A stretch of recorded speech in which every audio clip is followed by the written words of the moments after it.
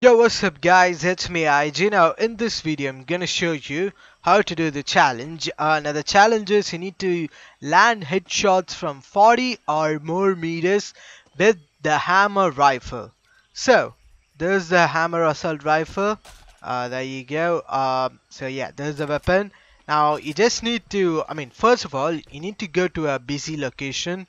Uh, like for example Tilted Towers uh, condo or any busy location you know what I mean? So go with there and then once you uh, do that I mean try to find the weapon the hammer rifle. So once you get the hammer rifle uh, yeah as I said try to find an opponent. So if you land in the busiest location you will find an opponent. So once you find an opponent uh, first of all uh, if you guys don't know how much 50 meters will look like you can just mark by the way. Uh, there you go. So that's like that's 65 wait how much is that? So that's okay so that's 56 okay?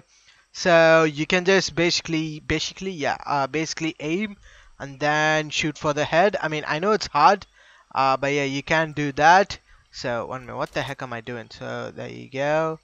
Boom boom.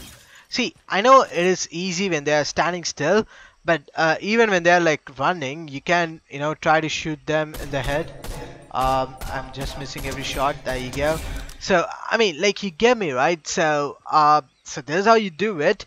But you can try to do this challenge on uh, you know like Ulf. Um, I know I said weird. Uh, so yeah. You can try this challenge on Ulf or like birds or chicken. Like you know what I mean? This is the best way by the way. Um, I mean the first part that I showed is literally useless to be honest uh, because um, I can only hit headshots when they're standing still. So you know what? I, I want to suggest you guys uh, do that uh, because it is kind of hard. Try to do it on like you know NPC or like any animals. And yeah uh, that's it for the video. I'll see you guys in the next video. Until then goodbye